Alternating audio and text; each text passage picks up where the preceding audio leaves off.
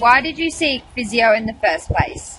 Originally, I actually came in because I was getting a lot of pain through my arms and my hands and my fingers while I was at the desk, and I thought it could have been an RSI related issue. However, after Brad's treatment, I did a lot of work on my back. The pain is going away. It's fantastic. Given me a lot of ways of actually managing the pain as well in my workplace and exercises to improve it over the longer term, which has been great.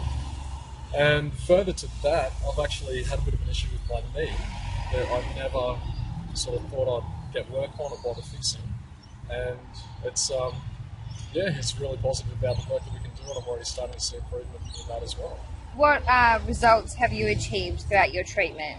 Well, that's kind of it. It's um, I've really got rid of the pain at my workstation and been able to manage that as well, which is great.